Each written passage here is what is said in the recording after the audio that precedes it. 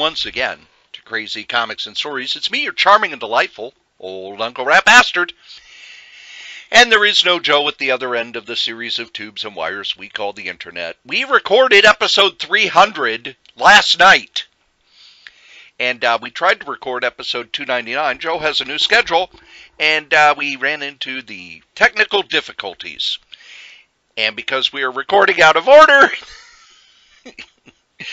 we decided, well, we've got a fill in episode. Let's just use the fill in episode. So here you go, ladies and gentlemen. Episode 299, a fill in episode with uh, myself, Joe, and our pal Butch. Well, believe it or not, kids,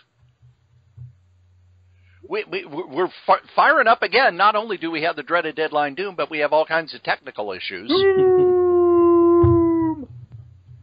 So uh, if this episode is one you're hearing, it means Cory screwed something up. Hot damn.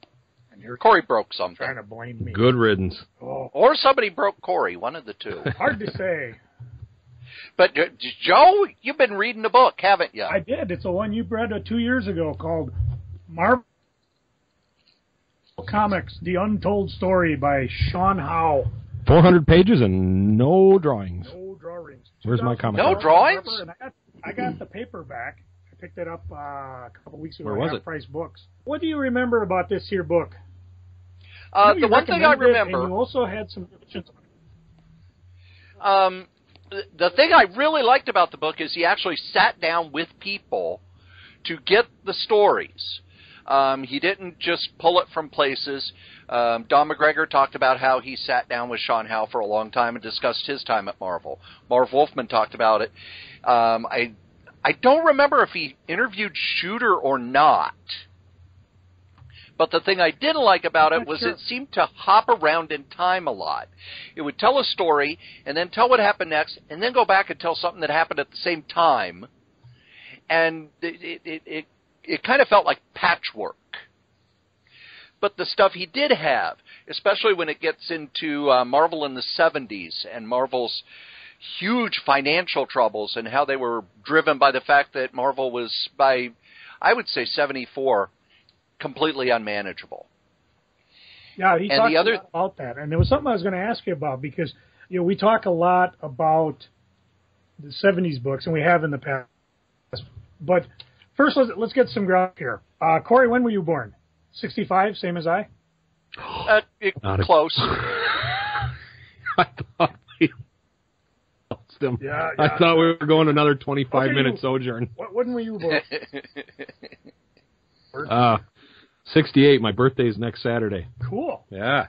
Uh, Thank you. Wait a minute, wait a minute. comic? If your birthday's next Saturday and this is a fill-in show, so it may not show up till December. Ah, yeah. Get Doctor Doom's time machine and we'll straighten yeah, it out. boy, it- Okay. Been really good for Marvel. Yeah. it? Or we could get time. By the way, Walker, Mar- it'll- ti- Cory, time is still your broken. First, uh, what was your first Marvel book? My first Marvel comic was Marvel Tales number 59, which I did not know at the time was a reprint. It was the first part of the story with the Prowler, What year? 1975. I did not. I read a lot of comics before then, but I didn't like the Okay, mine superhero was stuff because it was all it was drawn with a lot of shadow, and for some reason as a kid that kind of freaked me out. I wanted I like the clean line art of the Harvey and the the Dell and the uh, the Archie books. And what what age was that? What year was that? Uh, Seventy five was when I finally said, okay, I'm gonna I'm gonna read these books because college students read them. Yeah, it was 75 for me too, but it was just because they were cool. I mean, I was a pretty I was pretty young. I think I was six. And I talked a lot about mine was Amazing Spider-Man 178. Got it as a Christmas gift that started me, and I'm not sure when that was. It had to, 70, 178 was probably 1977. yeah, because the other one that I have is Star Wars 2, which we you know obviously came out then. So basically anything before 75. Just yeah, just that. Rip it out. All right. You want me to take the trash out, or it seems to be just Yeah, well- full of pages for Well, I think it might be comic. important to talk a little bit about what was going on. Absolutely. Stan. Uh, Stan Lee What I wanna had stepped back about- from being editor in chief, and he'd been editor in chief since the 40s. No, what I want to talk about is not what was going on with Marvel because if you care, you can go read the book. What I really want to talk about Marvel. is kind of parallel. What were we reading as the events in the book were going off? You know, Well, that's just crazy talk. it is crazy talk because it's all about comics. Uh, it doesn't sound good, man. no, it doesn't. Mark Butch, I think Joe's lost his mind. So I, I have. Yeah, when did this happen? As a matter of fact, we're 1990 what? Did you guys buy that Kiss comic? 1987. Yeah, I bought the Kiss comic, and I bought it at John's second, uh, John Annunziata's second St. Paul comic location, which was even closer to my uh, dingy apartment on Rice Street. I, you know, I know I bought it, but I think I remember seeing it on a newsstand. Yeah, I think it had been out for a year or so But before I got I it. I had a choice between Kiss or a, a Superman family that had Superdog in it. yeah, And yeah, I and, like Superdog. and the horse. And of course, my mom, being really, you know, religious, didn't like Kiss. So she's like, "I'll get the Superman comic. I'll buy it for you." So you know, which is a bonus because I didn't spend my own. money. Right. Yep. But I Way to play the it up. angle. I'm pretty sure I had. I must have picked it up at John's later because I, I know at the time. Speaking of your money, Actually, you know what? Hey, here. oh, I can use that as a bookmark. Yeah, here you go. Or I tear it up and throw in the garbage. Cans. I think I bought it at at uh, Twin City Comics uh, or one, one of the shops, the early Greg Ketter You make up your mind. because they talk a lot about making the Kiss comic and about, about how uh, I believe was it Gerber that wrote it, The Kiss comic, which was a full, which was magazine sized. which was I mean what was it like comics for twenty five cents and it was a buck fifty. I brought it to a big That was sleepover at a friend's house, and we all jumped up and down on top of it like maniacs. It's one of the few comics that I bought that did not get well taken care of and really got trashed. Oh mine got And I feel mine bad. Got, it, mine was terrible. I mean I had all the other ones. My Beetle one too was bad. I think mine ended Now, up I- also having the uh, genuine blood of some of my friends, not only Kiss, but uh, a whole bunch of us blood. on. What's interesting is the the, the book here claims that the, they went to go get the Kiss blood. Yes. But there was a mix-up somewhere, and they think it ended up in the Sports Illustrated, not actually in the. Oh my god! And they they ended up with the six million dollar man's blood. Oh, Wrong blood. Wrong blood. did you get? No, it was uh, Christie Brinkley's br- blood. And it was- Because it was gonna be in the- It was going to be in the uh, Sports Illustrated. now, here's the weird thing: I did not read it till Marvel reprinted it as a trade paperback in the '90s Yeah. Because I was not a Kiss fan, and I certainly wasn't going to spend a dollar fifty on a comic about a band I didn't much care Oh, for. you're nuts. Even though it was in the Marvel Yeah, universe. even though Doctor Doom was in it. I know. well, let's see. I could have bought that, or I could have bought six regular copies. Yes. Six Richie Riches. Oh no! At the time, it was uh, six Kirby comics. Oh, I was going to say Howard the Duck. Where Kiss also, that's where they first appeared in Marvel, was in the Howard the Duck, I guess.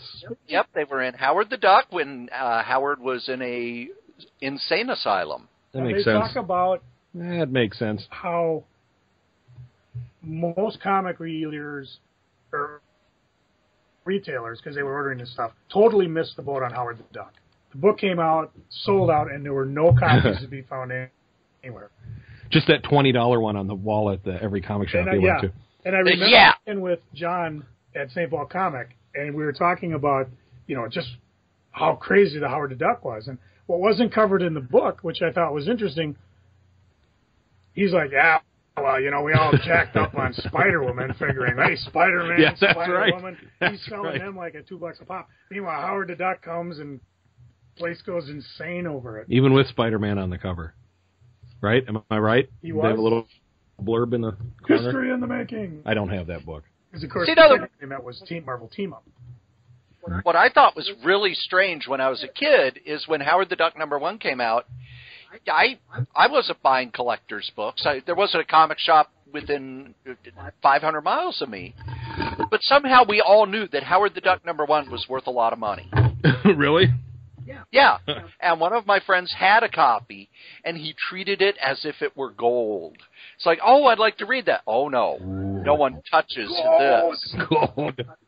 And then Marvel Howard Duck reprinted it in the uh, Howard the Duck uh, Treasury. hmm So I, of course, had to buy that.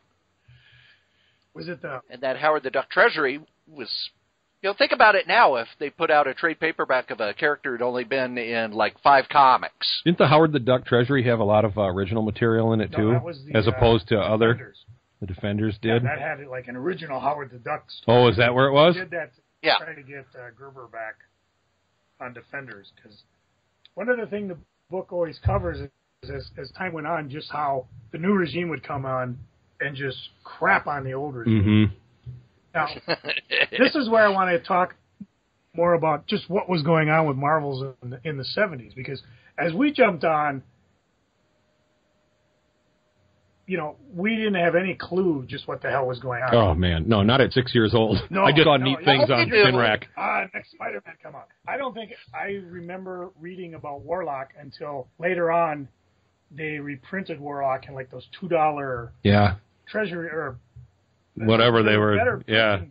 The uh, Baxter reprints. And I love those. Which- I mean, they, they badmouthed it in the in the book here, but I'm like, dude, what?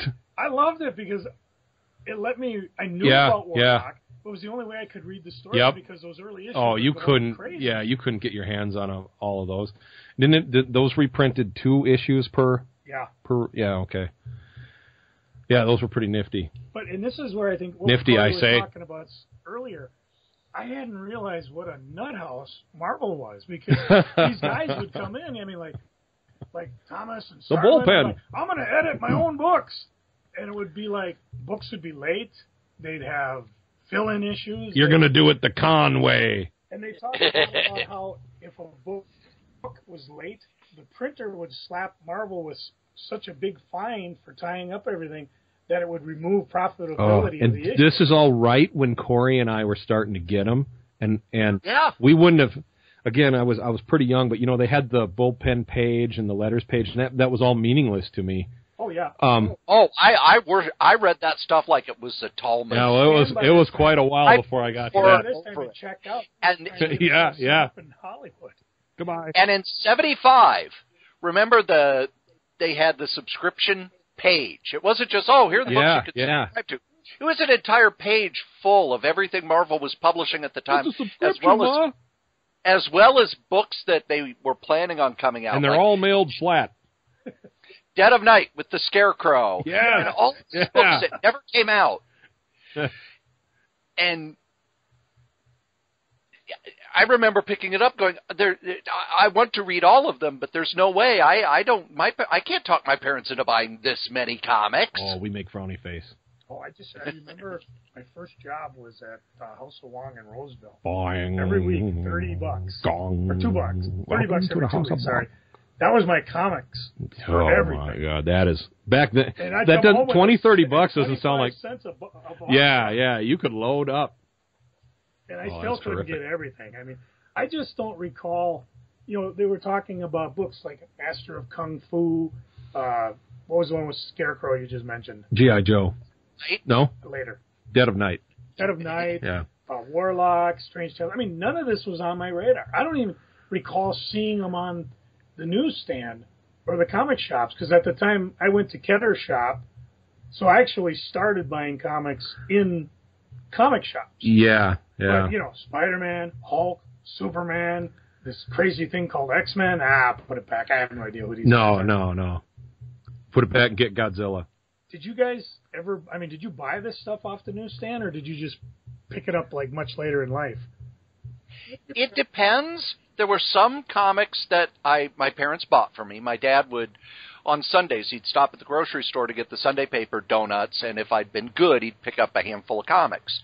I also had a babysitter whose um, boyfriend read stuff like Warlock and Man Thing and Kill and Black Panther and Killraven. And when he was done with them, he used to throw them away, but she said, "Oh, give him, give him this kid I babysit. He really likes this stuff." So I that's how I was able to get the stuff that Marvel was publishing that wasn't really aimed at kids like Spider-Man and Thor, more of the stuff that was aimed at the college student level. And so I'm reading Warlock at 12 and 13 and my brain is just going, "Whoa." Now the question: Do you? One thing, I, I, as I was reading through this book, it seemed like every time a new regime came in, the old, you know, they booted the old guys out. Usually, it was they just found out in crappy ways. You know, you're just out. You're. and it what struck me as Kind of like how Cory finds out he's going to have a guest on this. Uh, yeah, yeah. exactly. No, no, it's not. but Kind of how Cory finds out about everything in his a lot life. of Whoop, these guys were like, something screwed up. I don't Cory's know, got to pay. a lot of these guys are like bitching like crazy, like, how dare Jim Shooter take away my self-editing ability or all these other yeah, shit. Yeah. I'm like, yeah, The kids want to read that book with me editing it. such one you did wonderful stuff at the time, but it wasn't making money. Nobody was buying Yeah. it. You almost took the company under Uh, because they got my quarter. they had you know they were groundbreaking, but these guys weren't disciplined enough. I mean, what type of image do you think they had? Well, it was more than that too, because if you were editor in chief, and Roy Thomas is the one who started this, if you were editor in chief, if you stepped down, you kept the ability, and Stan would put it in your contract to edit your books. And in your contract, you would have a number of books that you would, you know, we're going to pay you this much, and for this much, you'll deliver this many books. Tell me this. of talking about editing books. All right, now you you're editing your own book. Yeah. What are you doing? Back then, from what I have been told, you had the editor in chief, who was the guy who kind of oversaw everything. And what he did was basically kind of work between the publisher and everybody else. So he was the one who kind of was in charge. He was the boss. Then you had um, John Verpoorten until '76, who was what they called the traffic manager, and his job was to make sure that the books came out on time. And there are there are a bunch of stories about him in the Marvel the Untold story about how he was a nice guy but he got in over his head and he was cutting people checks for work they hadn't turned in yet and and all sorts of stuff like that. But then the editor was the one who would be all right, this is basically if you were editing yourself, Yeah. you know, you had a artist you worked with, but you were like, oh, okay, well, this is what I'm doing, and you'd approve your cover and all that. I approve John, Well, John John Romita Senior would be the one you'd work with the cover on. You'd go to John Romita Senior and say, oh, I want a cover with this on it. Romita Senior would uh, figure out who's going to draw it. Then he'd deliver it to you. You would make any changes. Underneath that were the people who were assistant editors which was basically you were a proofreader. Mm. Now, because they were putting out so many books and things were so chaotic, Don McGregor's told the story constantly that he and Steve Gerber were both proofreaders. And because everything was so chaotic, they basically would proofread each other's books. And they were basically editing each other so that no one would tell them what to do. So they would deliver their books ready to go, and the editor would go, Oh, good, it's done. Thanks, bye. I'm not, not giving them Will it get passed by the code? Sure, okay. Yeah, it's good, good, good. I'm out of here. So if, if am I right? And as Shooter came in, he was the one that pretty much put a kibosh to all that. And when was that? When did Shooter sign in as editor in chief?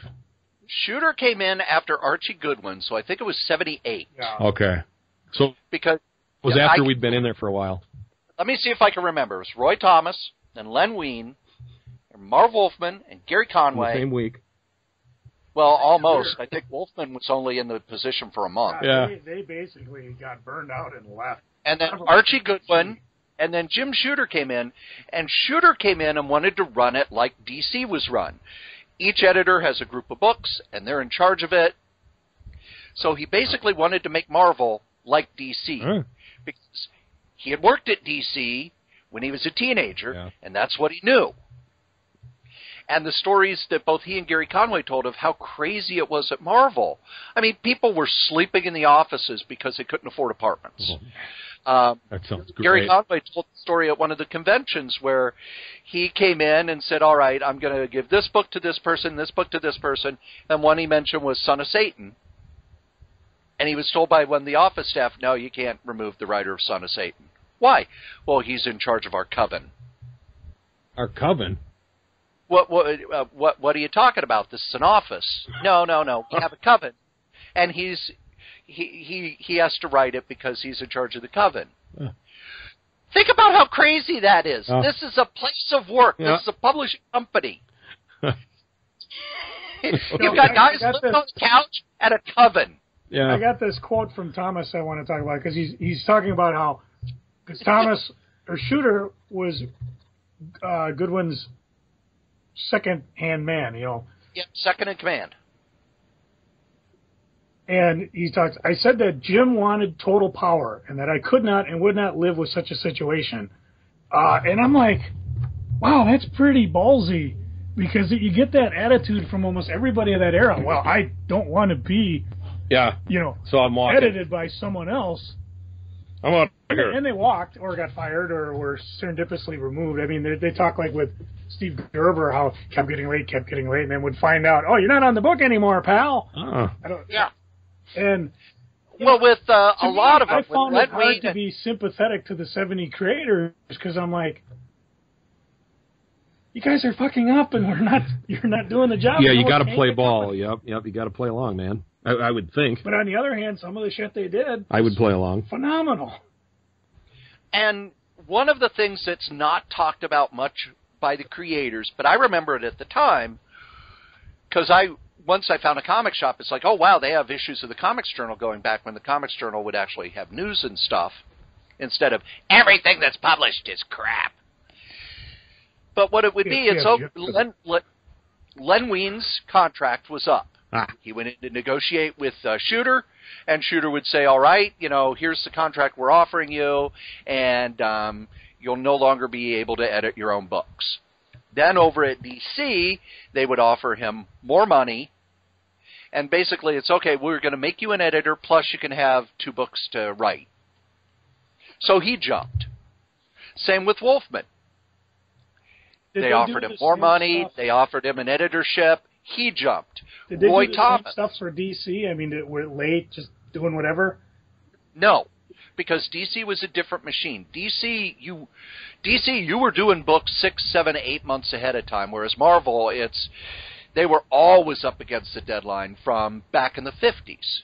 They'd always been up against the deadline, and at DC, it's you're an editor, but you're not editing your own books.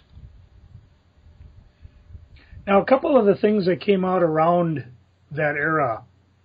Uh, well, I guess the first question is: Did you notice the changes? I mean, obviously, a book would disappear and you'd never see it again.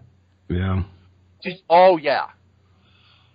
Oh yeah, I noticed the changes because I I could still point to on Spider-Man when Shooter took over. Because you had the big Marv Wolfman story leading up to 200. And after that he was building up to something, and then you had a run of like a year and a half of stories that are just unreadable crap. Yeah, there, They're there's a one single shot issue, fill-ins. villain of the month. You had Denny O'Neil doing one and two parters, and Denny O'Neil never understood Spider Man. Spider Man wasn't funny anymore. His supporting cast just vanished. Aunt May was 85. Well, Aunt May wasn't even in the book anymore. She It was okay. Here's Spider Man versus Hydro Man. Here's Spider Man versus Sandman. And you had to wait till Roger Stern came Oh, on yeah, before yeah. it's oh wow, J. Jonah Jameson's back in the book. Um, you know, like a brand new day or something. It was just amazing. So that was when Shooter took over. So his plan didn't uh, didn't work. well, it For did. me, it Did? did, 'cause, I, mean, I was reading the hell out of that stuff. Yeah. you know, issue after issue, and I was like, it, to me, We didn't know there was another way. There was the two-parter with the Punisher. I didn't. And then just a bunch of meh, eh, and then the two-parter with Juggernaut, and that's when it was Oh kind of Yeah. God. it got going again. You know. Yeah. Now, do you remember? I remember This comics at its peak for me, by the way. The Dazzler two-parter with the Juggernaut. one when it came out Dazzler. because it was like this is the fir- first Marvel direct only book. Painted cover, Yeah, people yeah. nosebleed over it. I mean, Gruber and I must have jumped all over this one. I get us 10, 20 copies. Yeah, yeah, yeah. we'll be ready. We'll be I ready. bought it. You bet. I fell for it. Yeah, me too. What do you remember, Strode? I remember as Shooter took over, I was ending high school, and there were a few Marvel books that I really liked. I really liked J.M. DeMatteis's Defenders. I was hooked on the X Men. Um, they were starting to talk about the uh, Marvel graphic novel. Uh, Micronauts had taken a hit in quality, but I still liked it. And then I noticed, oh look, Roy Thomas and Gary Conway are over at DC. oh look, here's George Perez and Marv Wolfman doing a book. Yeah, that's right. Oh, oh, oh.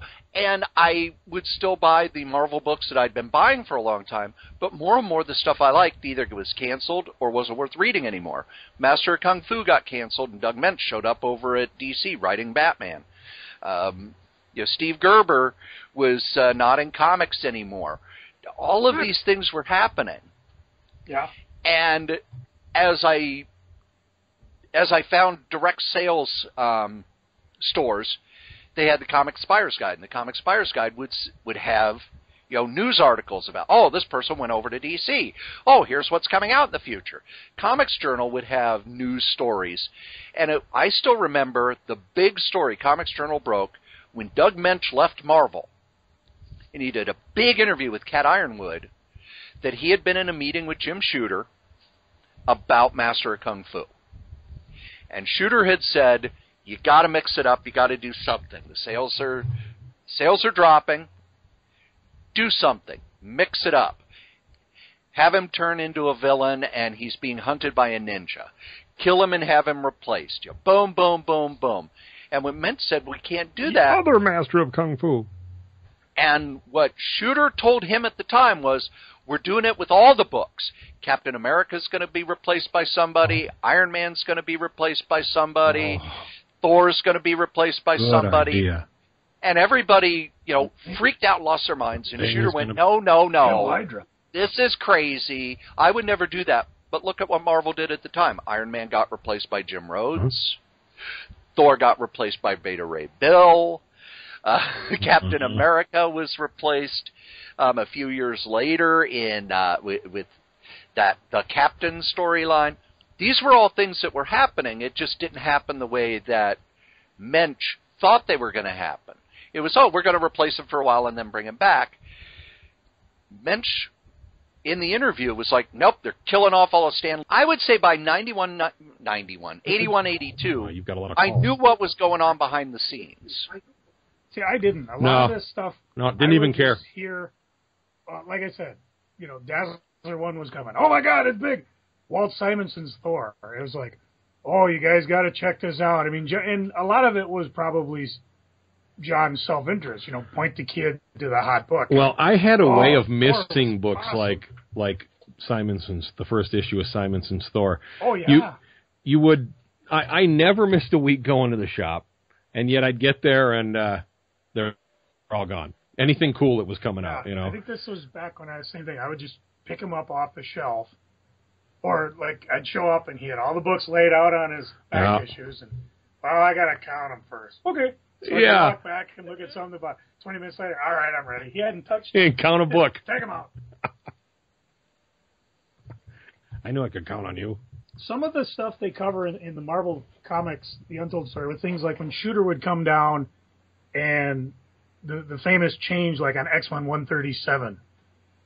But as the book went on, it sounded like Shooter went nuts. I mean, he was Well, like, "Well, there's only one way to do books, my way, and I know what's doing." And you're, and he would get, he would minutia everybody to death, to the point where these guys all left. Yeah. Man. And a lot of it was you have to remember that Shooter was trained in by Mort Weisinger.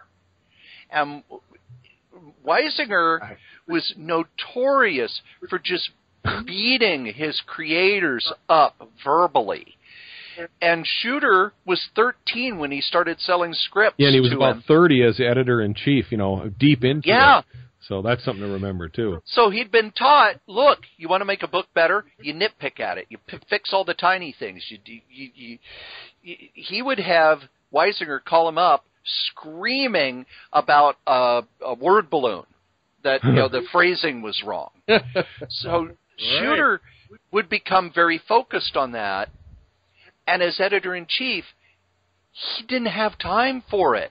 They were publishing too many books. That's why you had the editors. Who's this shooter Well, now? and then he also was working, you know, he was kind of the corporate guy too. He had to go upstairs and and talk to people. But I think a lot of it was fed too with the the commercial success, if not creative success, of Secret Wars. I've heard that a lot. That Secret Wars, is kind of when his head exploded. and he would actually send copies to people saying, This is how to write a comic. And his book And go back and read it, and it's it's shit. What? Yeah, that's how to write a comic. Yeah. Oops. And then it got even worse. It sold a million copies, when Butch. he went into uh, Secret Wars Uh. 2. This is how to gimmick a comic. Now there's a couple there's a lot of different comics that popped up during this time. Some were licensing, some were others. And I want to get your guys kind of round robin opinion of them if you read them or not. Because as I was reading the book, what, what kept me thinking is, especially when they got up to the point when I started reading the comics, is okay. Here's what was going on behind the scene. What was I doing in the comic world? And I'll stop back at Dazzler again. You know, where, oh, this is a big ass deal because Yep. Yeah. You felt like you were getting in on the ground floor of it. Yeah. cool. This is the first time Yep. they had a direct market only Ooh, yeah. painted oh, cover. The world's changing. it was crap. It's going my way. Was it crap? Oh, No, was nothing to write home about. I bought it. I remember them pushing and pushing and pushing it, and when I finally got it, it's like, this doesn't look good. The story is boring, and the character's nothing like she was in the X Men. Oh, wow, what a cover. Yeah, because she showed up in Spider Man. Again, uh, Yeah. was it, it was probably 203. Or if I'm early not 200s, mistaken, 206, because I'm thinking. 200, the two Punisher issues, Yeah, her, maybe then that one. Blah, blah, blah. Blah, blah, blah. Yes. And then she had the X Men appearance. But they played Yep. her off, you know, that she was a mutant, and then they took away the face paint. I think was the first thing they did. Because originally that was her thing. They, she Big had- mistake. Yeah, should have gone with the first. yes, just ask the Road Warriors. Yeah. How about the? It all uh, comes back to the Road Warriors. Epic magazine. Did, did you jump on that? Oh no, yeah, I, I, had did a, not. No, no way. No way. What did that cost? A buck? Forget it. I think it did. I think it was um, more. Buck fifty. Yeah, it was more because it was It color, was morbid, all right. and I had missed out on the Marvel black and white magazines. So they, Oh, to yeah, me, yeah. were kind of like this mythical thing. And I was able to start getting Savage Sword of Conan, and I wasn't really a fan of Conan yet.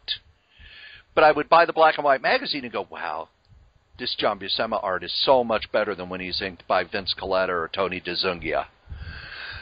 Oh, wow.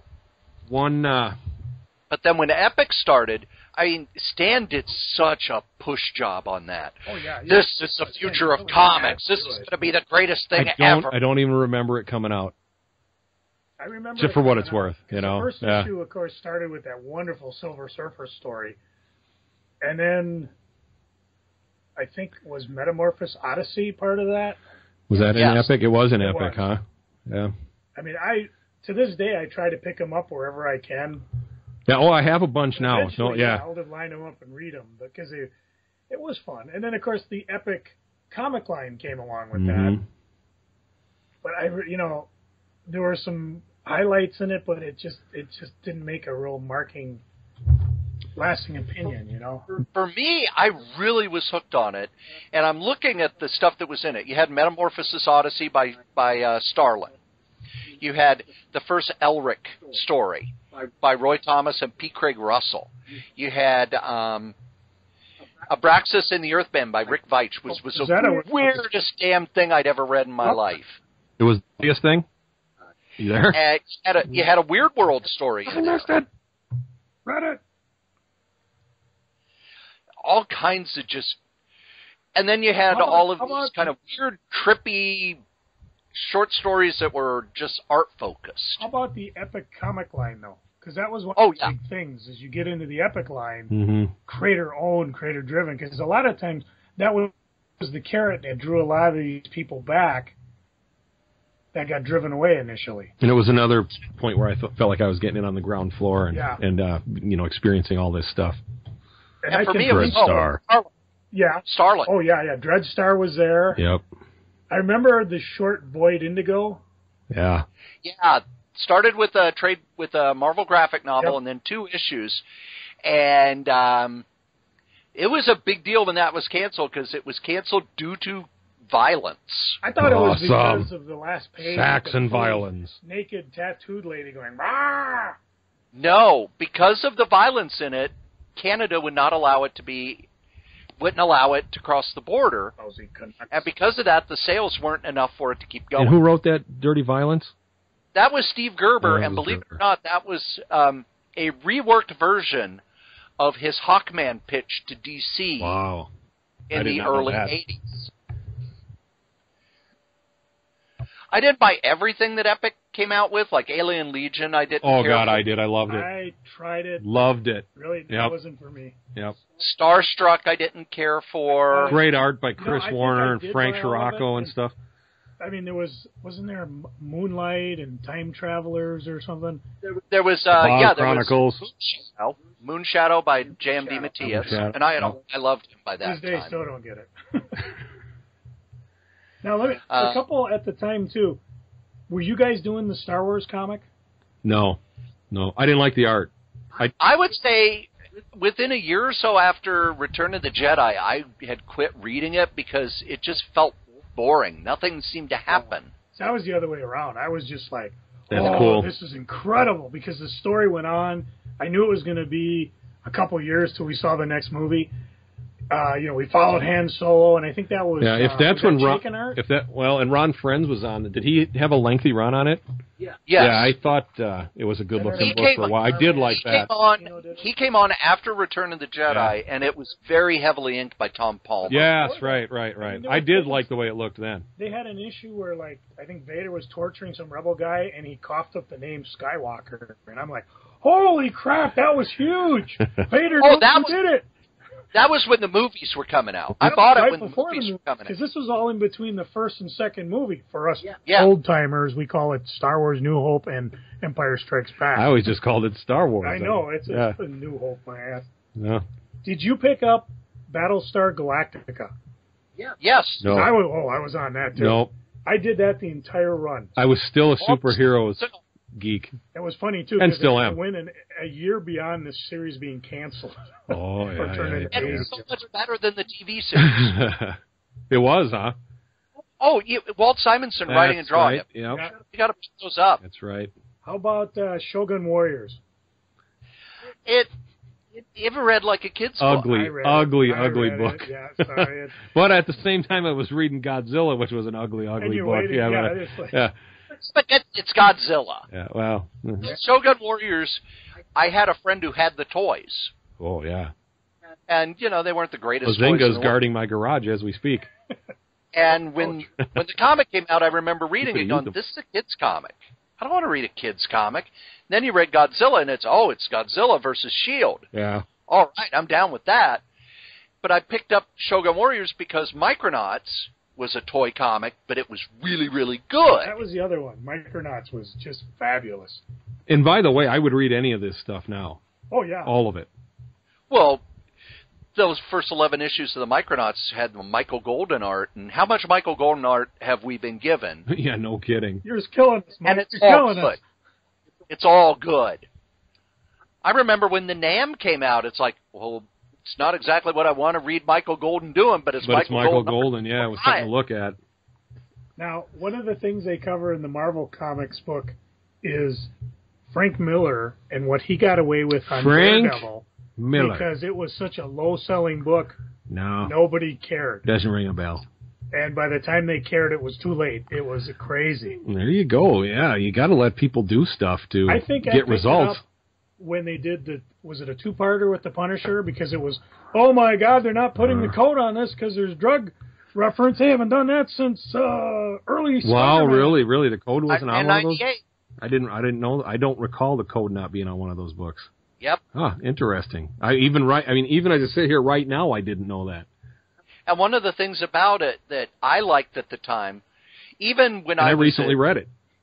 even when I was a teenager, when they would make up a comic book drug, Hmm. it would annoy the hell out of me. I and still, they do that crap in TV shows now. start stumbling I around like just a watched- Zavembe.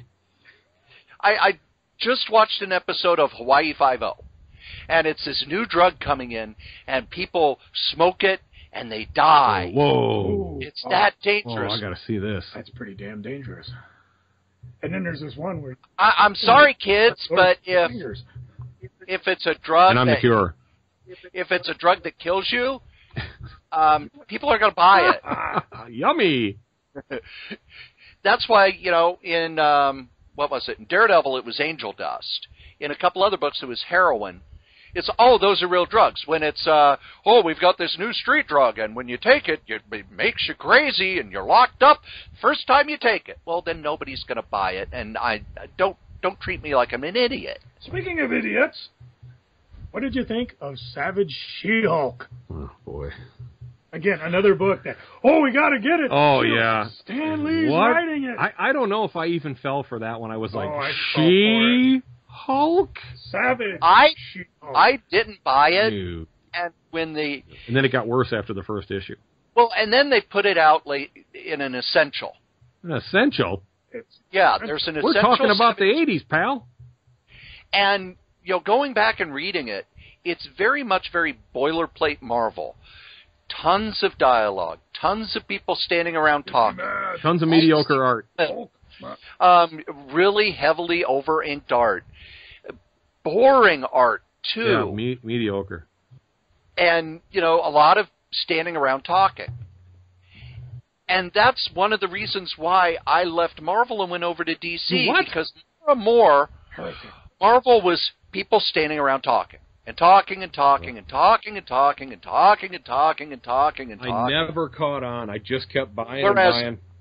Over at DC, oh look, here's George Perez. Oh look, here's Gene Colan. Yeah. Oh look, here's Keith Giffen. Don Here's, Newton. I'm not saying that I. here's all these guys who have art where stuff's going I, mean, I was on board when when New Teen Titans happened, and and of course It took me a long time to get New Teen crossovers Titans, came. I mean, and I loved Perez's work. That was like a golden. I, I saw it like in back issues and price guides. Superman and Spider Man. oh man. yeah. It Yep. took me forever to find that someday. Oh man. A friend of mine had it. Which is an important part of my comic uh, upbringing was that I always had other guys who had comics and one guy who had a lot. In fact, he was the guy who brought me to the comic store the first time. And when I say guy, you know, he was a kid my age. Um, and yeah, he introduced me to a lot of stuff. I mean, I saw the first treasuries at his place, and and uh, he had a lot of the Mego action figures, which was a whole other thing. Legion of Superheroes. What an exciting looking book that was as I was a little kid in the seventies. Oh yeah. yeah. Etc. was And I- think one of the things that happened with Shooter, yes, the, the trains ran on time, but but there was no longer that sense of a, anything can happen. a ghost train. and you had a few books. You had Daredevil, Daredevil. when Miller was on it. You had the Fantastic Four with Byrne. You had Thor with Simonson. Sorry, with Simonson. You had uh, Sh- Claremont's X Men. Write these down. But most of the books were just going through the motions. They one one issue stories. Hero meets villain. Okay. Villain beats hero. Hero figures out a way to win. Hero wins in the end. Maybe a subplot to the next issue. Or at the other extreme, you had the Denny O'Neil Iron Man story, where Iron Man fell off the wagon. Now, when you did it earlier on, when it was Bob Layton and Dave Michelinie, it was interesting. It was, you know, he started having problems because of it. It was in the background until finally they had a three part story ending it. It didn't last forever. hmm They did make it a part of the book, but it wasn't the focus of the book. Then Denny O'Neil said, Well, I'm going to do an alcoholism story. The goddamn thing took three years. Iron Man didn't just become an alcoholic, he became a stumble bum, homeless guy living I in a almost- gutter. I actually enjoyed that. Uh, I almost became an alcoholic from looking at Luke McDonnell's That art back the- then. the I became an alcoholic for the fact that the story lasted over 40 See, issues. to me, that, one. that didn't matter to me at the point because I was like, it just kept going, and Yeah. it was cool because you know Rhodes took over, Oh, it was the bane of my existence. It never ended. and it no, but when it did wrap It's up, still it going. Freaking cool. Cool. By the time it wrapped up, I no All longer care. Armored up, you had Stane getting all armored up. And Yeah, just yeah, like and it actually, fight scene. it actually, the art w- had changed and it was getting, well, I, I got nothing against Luke McDonnell now. I could go back and read that easy, but at the time, I was hating a lot of the art I was seeing in these books. Al Milgrom was killing me on about 15 Ah. books. Everything I wanted to read, he drew, you know. Herb Trimpe was still killing me. Luke McDonnell, after Layton and Romita, Romita Jr. with Layton's inks, or finishes probably, on Iron Man, there was there was Oh, just yeah. nothing that, That could was kick ass stuff. Yeah. And then I think about the the crap that was Captain America 300. They had this great storyline going up. It was going to be a big fight with, The Red Stone. and it wasn't even a double size issue. Everything else was a double size issue. I was like, what are they and doing? everything they built up to it didn't happen. I remember reading it going, "Oh, they're building up, and here's this new character who's an, a Native American, and here's all this stuff. Oh my gosh, Cap has lost his powers, and then ah, yeah, fight scene, in the end. Yeah, and they talk about it in the book because who's who's doing the book at the time? Which book? J.M. DeMatteis, And and he had gotten everything approved. Shooter decided to punish him, cut the book in half, Oh. and rewrote it himself. Really? Yeah, and got rid of Not the- a good what he book. wanted to No, it do. wasn't. Nope. He was going to have the Native American take over as Captain America for a while. Oh, that's a good idea. I wish he. And then Shooter was like, Black- you know, and it approved it all the way through Crow, until the last. that who we're talking Shooter about? said, "Nah, nah, nah, Eh. no." I'm gonna let that go. Another interesting thing I, I found in the book is as time went on, and I, they they pick on Chris Claremont a lot. He became Really? like the godfather of the X. You didn't use an X Men character without Interesting. his Yeah. Authorization and approval. I loved the Marvel universe, and, and as that kid that I was then, the X Men never felt like part of the Marvel universe, And and, I just the didn't way enjoy the book or the characters. Chris ran the X Men. I mean, Oh, he had it for what twenty years. And he did interesting things. I mean, he would ta- tap back into things he'd done before, like he'd have uh, Luke Cage or uh, Power Man, as he was then known and is still known to me, and Iron Fist in the book, Colleen Wing, things like that. Um, But he'd also I- do that things was like cool. He'd never finish. Oh, Like, There was yeah. that one Yeah. issue, and I, I don't know that it one was, issue that still isn't ended. It was right before uh, Yeah. 150, and I don't know if this is because he was thrown off One- when 149? Shooter made him write, rewrite 137. And I, I've read Oh, yeah, both issues yeah. of the original storyline of Of 137, the death of Phoenix, yeah, where she was just going to be lobotomized, Yep. and then I read the actual death issue. yeah. The death issue, in my mind, is a lot stronger because they went back and they did change some of the characterizations. And there was a great was Yeah, that was good stuff. When I say I don't like the X Men, don't don't. Well, there was a there was stuff that was great. There Yeah. was a point where he had okay, Banshee met his daughter Siren, yeah. and Spider Woman was there, and And you were there. that was the end of it. You were there. Nothing happened the next issue. Yeah. They disappeared, and they'd show up in Excalibur later on, and it got to the point where like but never finished a storyline. And again, you're talking boilerplate. It was almost like, okay, here comes the super tough villain that's going to destroy everything. We just barely defeated him, but he's off in the sunset just in time for another super super power villain. It's like, oh, what are you going to do when you stop Apocalypse? Put him in jail? Apocalypse. No. Every villain that the X Men fought was crazy powerful, and they had some fun stuff. I mean, when the New Mutants No, came no. around, All garbage. that was incredible because that was like, was oh my cool, God, yeah. they're doing a second X Men book. Same thing like when Peter Parker Spectacular Spider Man came around. Oh my God, a second Spider Man book? These are big things. Yeah, wait a minute. that, Wait a minute. Spider Man's fighting a guy in a pig costume who talks in CB slang. Yeah, I don't need to read that. But gonna finish Champion series that they just canceled. In in my non-defense, I loved the uh, Razorback issues. That's Oh, Big God. Burger, buddy. Get me, Oh. must have appealed to a kid, you know. yeah, I guess. Yeah, I got to get a sketch Razorback. Ain't you listening? Now, oh, See, for me with the X Men, I think the Death of Phoenix, and I was at a convention in Chicago. I think right before it came out, and Shooter talked at the time about was it a how comic convention or was Yeah. okay. It was, uh, one what of those- Yeah, it was. Well, it was a creation. It was back when creation did conventions, so it was comics and movies and in a hotel in Chicago. And then to this day, I don't know why my parents sent me there, because you know they they should have sent me to a. The, the, anyway, Maybe he won't come back, Ma. That could be. I mean, Terry Gilliam was there. I think back on it now, it's like, oh my God, I met Terry Gilliam. But at the Oh. time, it's like Terry Gilliam doesn't do comics. That way, Like I met CC Beck. He, he tried to talk to me and I froze up. Ah! But X Men was outselling everything. Oh yeah. And Shooter was talking about how panicked they were at the office because they could not miss the deadline. There were so many orders for this book. But you look after that, before that, it tied in with the Marvel Universe a lot. I mean, he wrapped up plot lines for Ka-Zar for Christ's and sake. it looked spectacular. There was it was a whole- magnificent And looking. After- it was like, okay, they're off on their own world. Marvel team up where, like, uh, I think it was the Living Goliath was Yeah, living monolith. Beast, Closer to the microphone. Beast took off, Yeah, and he shows up in the X Men comics, and Cla- Oh, that was. Claremont working his was- stuff yeah, together. Yeah, crazy crossover, and you know you get those little word balloons. Where's the Beast going? Follow this in X Men. Ah, oh, I it. sure will. it was just fun stuff. Then it just it kind of went off the rail. There were, every so often there'd be there would be glimpses of fun, like when they all went to space, and Kitty Pryde dressed up like Dark Phoenix, and you there's a one Oh yeah, yeah. you get the cover and you're like, oh my god, Dark Phoenix is back. Something goofy's And going you on wait a here. minute, Yeah, wait a minute, she's drawn kind of weird. And you realize no, she's drawn like Kitty, not like. yeah. But it just it just they talk about how it just goes. And and by that point, Cockrum Cockrum was at his most uninspired drawing too. I, that was uh, a letdown. Also, The last thing I want to talk Made a boring book before we boringer. Make a, a sad more jump boringer. into the Marvel future.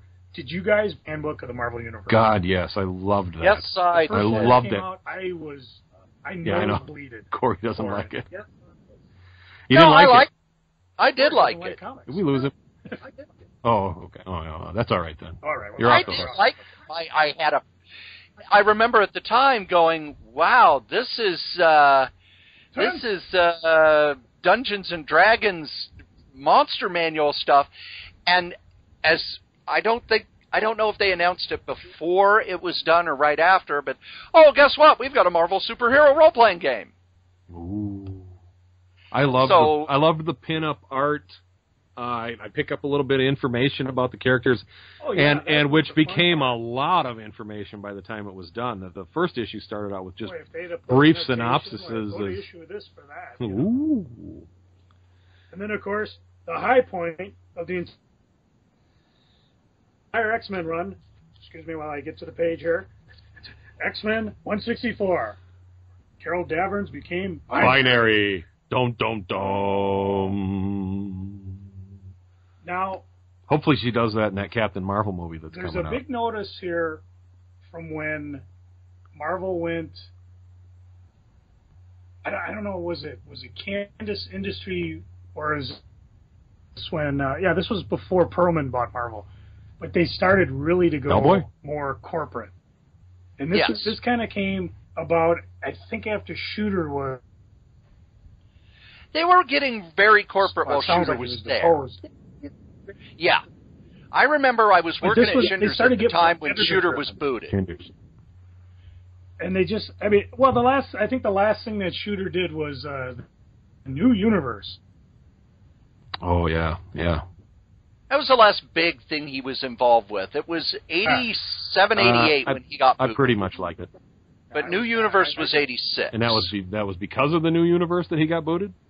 There were a lot of things. very well. The, the biggest thing that I heard at the time, going to sales conferences, was that, well, you know, New World Pictures is buying us, and he's pretty unstable.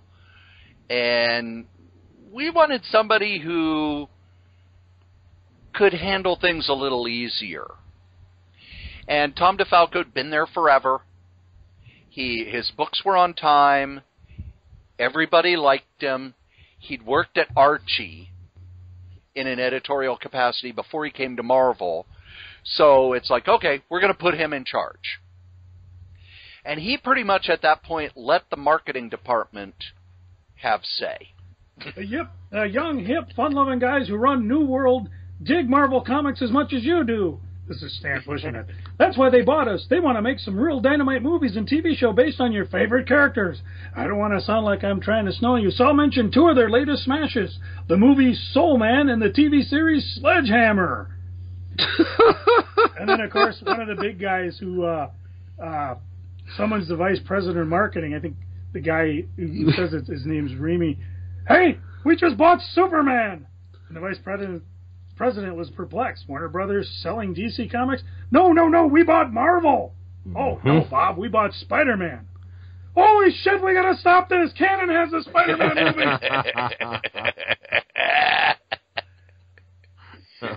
So Superman. When Shooter was let go or fired or whatever, is this when we started to see more of the editor-driven stuff? No. Under Shooter, things were very editorially driven because if you were an editor at Marvel, you know, Tom DeFalco was an editor at Marvel. To supplement his income, he had two or three books. Denny O'Neil, editor at Marvel, supplement his income, he had two or three books. Ann Nocenti, editor at Marvel, two or three books. Louise Simonson, editor at Marvel, had two or three books. That's how they would bump your income. And in a lot of hmm. ways, I think that's why you had such editorial sameness through the 80s because everybody was editing each other's books, and then Shooter would tell you what you could and couldn't do. And then you had the great stuff like House 2, Second Story. Oh yes, the adaptation of a movie that Nope. I loved. I loved crappy New World and Cannon Films at the time. Mhm. You couldn't get me to that one. You couldn't pay me to go watch that movie. William Katt from uh, Greatest American Hero. His jump into film there. I've Joe. got that Yeah. sitting at home on my need to watch list. Now I'm trying to Oh, you don't out. need to watch it. Need to watch. When did Purple Oh, you don't need to watch it. buy boy. Marvel? Hellboy. 213. That's a good one. Let's see. New World got in trouble. Uh, and they went bankrupt, and Ron Perelman, the Revlon chairman, not the uh, guy who does Beauty and the Beast and Hellboy, Yeah, that guy. he set up a shell co- corporation and, and bought Marvel. Shell game. And, and they, Now, I'm at that point, I was that working in happened. comics. Mhm. And I, I still remember I was working at Shinder's when Marvel went public. And I remember at the time, oh, got to buy shares of Marvel. Marvel knows how many knows their profit before they even go to press. And this was when you had um, Spider-Man number one come out, sell a couple million copies, and X-Force number one come out, sell a couple million copies. X-Men number one came out, sold nine million copies, and it was oh man. And I was at Shinder's, and people were buying. You know, the, the number of people who were coming in to buy comics was growing. But you also still had the people who would buy one to read and one to put away. Or one to read and five to put away. Or I Yeah. got the shiny, the shiny copy of Silver Sable number one. I will put away a dozen of those. Because I think this is when we started to see they they canceled Epic. Uh, a lot of the creators were let loose. Even Chris Claremont. Eventually, they uh, they cut him loose, and we started to see more marketing come down. And they would be like, you know what, we're gonna have a couple. Let's let's get some some great titles. Big Gun, Silver Sable, Nomad, Punisher Warzone. hey, is you know if your books needs help, let's get you. Now, well, put Ghost Rider or Punisher in it. Matter of fact, Terror Inc. let's Fool do Killer. variant covers. We got the, the the anniversary of Spider-Man. Let's do some 3D Spider-Man covers. Ooh, individually bagged with Yeah, a different yeah. card. Gold. No, no. See, and that was the thing. At the same time this happened, it's the same time the Image Boys started to show up. You had Liefeld suddenly pop up on, on New Mutants. Mhm. Jim Lee, he'd been he'd been doing stuff. He, he did like Alpha the, Flight. Uh, Oh. Yeah, and uh, th- then he was given X Men. McFarlane. Well, McFarlane, what he did Infinity, Infinity Inc. for DC. Yeah. Did a couple stories. Coyote, Worked on their invasion storyline. Yep, and then he was doing Hulk. Amazing He did Spider-Man. the he did the Hulk. You had Valentine. you're forgetting the Hulk. Right. The Hulk's where he Oh, became oh, a star. course, yeah. I love that. And see, That was I- exciting. As these guys showed up, yeah, this was fun stuff. I mean, I, I was reading New Mutants, uh, and all of a sudden, you know, next issue, the coming of Cable, and I was like, whoa. Wow, finally gonna get And cable. I know Liefeld gets a lot of grief for his art, but man, I was blown away. This was so dynamically different. It was just a Yeah, blast. yeah. He, he tell you, seemed to be putting more work into it I there. had some of them New Mutant 98s flying around. Holy crap. You see the price on them No, what are we talking like about? 500 bucks. Holy shit. And the Daredevil number one? I remember putting it right back on the shelf at the Oh, source, not the no. shelf, but in that little Yeah, slot that they had them in. You're Yeah. back. Oh, you bent it first. Yeah. Oh yeah. Well, no, I didn't have. to. It came that way. Yeah. So yeah, the That was worth five bucks. started to come up, and I think this is where, and we've talked about it in the past where we saw more of editor controlling what was going on. I mean, and marketing would come down and say, you know what, we like this Spider Clone saga. Let's keep it going. Oh yes, thank goodness. Pissed off Dan Jurgens because he was told, yeah, I'm going to finish this up. No, no, we're going to keep it going for Oh, a little bit. keep, it's great. Great stuff. It's the greatest thing ever. And this What was, if Spider-Man's Well- clone had lived? this was when Gruber and I not only were, but we were buying multiple copies of this shit too. Mhm, mhm, You know, mhm. anytime a oh okay, let's see, these issues are okay, but the next one's got a oh Web of Spidey 100 green foil. Oh, Oh, that oh, there's an extra foils. event. That's spider armor. There Yes. was a Peter Parker issue that had some type of prism cover on it, and I don't know what issue it was, but I was up in northern Minnesota, and the Let's go to issue was Prism. Like, like three, four bucks, and I knew they were selling for ten bucks when you went to Comic Cons. I bought five off this guy's newsstand, and you'd have thought he was like, "Darn, Wow. that's like twenty five bucks in comics. We've never sold that much." Sold out, ma. Uh, order more of them. just bringing this. Well, it was newsstand. They just get it and sell it, you know, and return it. But it was just crazy times because you I don't remember that cover. stuff. You could go to one of the the monthly shows because Greenberg had a show. You know, the MCBA had their two shows. Uh, Gruber and I, we were going. Well, Wisconsin to Dells, we go to Duluth, Yeah. Down to Kansas City. Yeah. I mean, we kept thinking we'd go farther and farther. I mean, I bought a uh, used, Brazil? No. not that far. No. No, we, that D- Diodato, he come later. Oh, thank you. But yeah, we had we bought a I bought a Ford Ranger. We spent That's some a little pickup truck. Our, our uh, money and put some like heavy duty shocks on it because the first time we loaded up for a con, yeah, was like yeah. two inches. Yeah, but Drew weighed about 350 back then. Yeah, well, that was at the front end. So we, we were the first. We were the first low rider. Get it? Dun, dun, dun, dun. Joe Rider. But it was crazy because you knew. and they talk about it in, in the Marvel Comics Untold Stories how issue 50 had a foil cover and the sales went crazy, and then the in between issues were like go down again. Uh, how on earth that worked is beyond me. Well, I'm telling you, it was guys like me and As are most things. Let's buy 10 copies of this one because it's got a, a gold in the cover. Gold shiny, Ah, cover shiny. shiny, Marvel comic. And Marvel wasn't the only one doing that. No, they weren't. There was a Tyvek indestructible cover over at who who had that? Somebody had that. Oh, that, That was, was um, Was it continuity? innovation. Nope, it was innovation Innovation. For the um, gosh, Mack Bolan, the Executioner series. Ooh. Is that when we had the shop? Was Bulletproof. and that's when Dave proved it wasn't indestructible. Not indestructible, yeah. He yeah. worked about a week on that before it took. So, and this was kind of the beginning of the end because the editorial group was like, you know what? If one Spider-Man comic sells, let's do another one. Yeah, let's do 14 of them. And they, Fantastic Force. oh, I, I, I am shaking my head. but this shit. led to Son, that's the man who ruined the Fantastic Four. Here's the thing, though: the guy who wrote Fantastic Force, Tom Brevoort, who's still an editor at Marvel, Uh, longest running editor yeah. at Marvel, will has said if you bring copies to him, he will personally apologize. I don't know how. I don't even know how. I don't even know what I'm saying. But um, comics were ugly at that point too. They were all under. The, were they under the influence of Image in those Fantastic Yes. Four days? They, not yet. you had all these people who wanted to. Well, by 92, 93, 94, everybody was looking at Liefeld's art Mm-hmm. and Erik Larsen's art and and that, and going, well, that must be what the kids like. Because that's when Herb Trimpe started to. Oh, draw like remember that? You want the books to look like this? I'll show you the books that look like. Oh, they were hideous. And I, I didn't know he could I- get worse. I talked with Herb Trimpe when he was at one of our conventions, and I was very kind about it.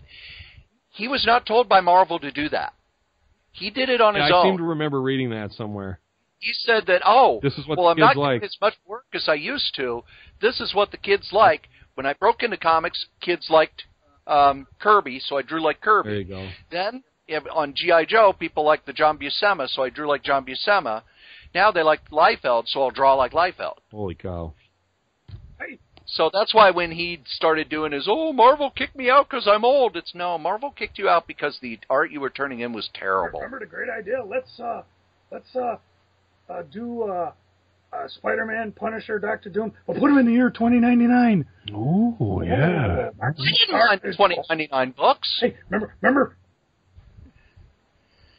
Did you read the 2099 book? Wolverine, Spider-Man, and the Punisher, and put them in Secret Defenders. Ooh, Secret Defenders. No. Well, that was That's just what's the secret? I never. This too was when That appeared to be a messy time to me in comics, whereas in the '70s I didn't have a clue it was messy. I oh. just believed that each issue, I didn't didn't matter if it was a different writer artist team. That's just the way I accepted it. I, I, I knew well, it was and so different. when you're younger, it's well, that's the way it is. Yep. And then when you get older and you know what's going on behind the scenes, you're like, oh, this guy just screwed it up. what a mess! they talk about it. what an asshole! comics against old stories that they were doing royalties, and so everybody was like, "Oh, let's get into a crossover. Let's get the Punisher Yeah, in my yeah, book." yeah. You know, Hot character, hot give character. Them a bump, or you know, yeah, I'll put a nice shiny cover so that Ah. dumb boys in Minnesota buy it. Vengeance! Ah, vengeance! So there was there was a reason to want to do this. Uh, let's figure out how to uh, uh, shoehorn in Wolverine or something. But then they also Midnight at Sons. the same time Oh, Spider-Man number Sons. one with McFarlane, Yes, yeah. only to be exceeded by X Force. Yeah. with that was the poly bag with the card in every single one. Yes, it Yeah, was. yeah. Yep, and you had to buy like six of them to get all the cards or something. And then and then Jim Lee with his okay, same book, Yep. different cover every week, Yep. and then one book with the very very end. That has all the covers. All the covers. I fold out all the covers. Super fold out, which was pretty cool. And they talk about how people would go. Let's see who's quoting this here. Probably Herb Trimp, Trimpy. Uh, let's Trimpy. see, Blah blah blah blah. Hercules. Blah blah blah blah blah. It was collecting comics for like a Ponzi scheme. Yeah. uh, reporter. This is from reporter Douglas Cass, who started reporting it in Barron's. Said, I saw boxes upon boxes filled with unsold copies of the highly promoted premiere issue of X Men and X Force, titles that were introduced nearly six months ago. It wasn't my fault because I bought about ten of them. Oh, I can't even think of what the hell Gruber and I bought. All I remember is oh, when we finally did have Hot Comics, we found an unopened box of the gatefold cover of X Men number one. Never got to, Oh, my and obviously forgot about it. Yep. Pat and I opened it up and put it out at cover price. This is just And part of the comic we- thrown in the back there were, what, room. Fifty comics in a box like that, or maybe a hundred. You got me. We, we that's how we sold them. We take them to cons. Hey, how much? Four bucks. Yeah. Yeah. Really? Yeah. Ooh. Yeah. Yeah. Oh, oh buy them all. But that's what oh, sucker. that's what I think drove Marvel and it drove marketing insane and it drove the editors insane. Where are these profits when you sell those kind of? I mean, whether you sell fifty thousand copies of a book or a million copies of the book, there's a different profit involved. Did, did, did nobody invest this money wisely and sit on it? No. Oh my god. Eh, probably not. Well, remember, Liefeld bought his parents a house with the check from X Force number one. He bought him a half million dollar house. People were spending money stupid, and if you remember at the time, I was saying these companies need to plow the money back in advertising. And instead, they were, you know, Marvel was publicly held, so they were putting it out as stock dividends. But they were actually pulling back on advertising. They were less and less money for the co-op ads, less and less money for ads in newspapers. Well, nope, uh, people aren't using them. Really? Because I'm seeing lots of ads on TV. Well, uh, well, we, we want to spend the money in other ways. The one I remember most, Malibu. Hey, we bought a whole bunch of ads. Oh, And then I read an article about it, and they bought ads on bus stops in like the worst neighborhoods in town, Don't you have in, my- in my Chicago huge- and stuff, because they were cheapest. Jump on now. don't you have that huge window-sized uh, Yes. Prime? Yes, it, it I do. Unrolled, and you could actually see it from the street, like something. It was Hey, double sided Yeah. Yep. so the light would go through it. In June 1992, and this is where I want to probably leave off. I guess is when Martin Goodman died, and he retired to Florida, passed away at 82, and this is when the comic industry kind of took a big turn. I- Dump. This is when the Image Boys bolted. Uh, the Marvel Yeah. stock started faltering. Uh, you know, before we talk about '92, though, what was we talked a little bit about New Mutants? What was your reaction to to uh, McFarlane's Spider-Man? Either what he did in Amazing, or when you heard, okay, he's going from amazing. yeah, that's a good that's a good point. Spider-Man. That's a good point because I was enjoying his Amazing Spider-Man, but by the time uh, the individual, the self-titled, what what do we call it, Singular It was just adjectiveless. Man uh, book came out, I remember yeah, them calling it Adjectiveless Spider-Man was a little seemed like a little overkill, and uh, I think the uh, the uh, editor, what was his name, Jim Salkrup, yeah, like Self-strup, yeah. basically told McFarlane, Salicrup. do whatever you want. And he, He did. And McFarlane loved it. He just And sat he back did, and yeah. whatever. The final straw. Oh, for the kids are gonna love this. He did that crossover with X Force, and he was given grief because he was drawing a thing where Shatterstar drove the sword into Juggernaut's eye. really? And I was like, awesome. I mean, that's what Juggernaut said too. Yeah, but that, you got to remember that was still they were still going under the comics code. Whether he had to change it because of the comic code. yeah, originally he was going to hit him in the Eye. store. and that Mc- and with McFarlane, you can never tell if it's you know retroactive continuity. But he was like, "Oh, that was enough. I'm out of here." And he actually was out of comics, I believe, in my opinion, a year before the whole image thing popped up. Yep. Yep. Really? What? Yep, he dropped out of comics. Now, one of the things he was so far ahead on Spider-Man stuff was still coming out. But he had said, "I'm done with comics. I'm not going to work in them anymore." And, he'd made so much money on Spider-Man, he didn't have to work. It's I remember when Image was announced, I was working at Shinders. I was near the end of my time at Shinders. And I turned in my orders, and they actually called and went, Why did you put down you want so many copies of Youngblood? And I said, Well, it's Rob Liefeld. The last number one he put out in my shop sold 500 copies. You're not. I think it's smart to get at least half that. And they were, nope. Once a creator goes from Marvel to an indie, Mhm. nobody cares anymore. Nobody's buying Neal Adams stuff. yeah, just ask that And- variant hunters nowadays.